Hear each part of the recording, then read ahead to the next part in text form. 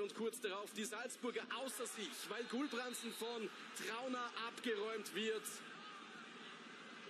Marco Rose platzt die Hutschnur und es gibt für Trauner nur Gelb. Und das ist eine Fehlentscheidung. Das war ein wirklich brutales Einsteigen vom Linzer Kapitän. Hat eigentlich keine Chance auf einen sauberen Ballgewinn und kriegt für diese Aktion nur Gelb.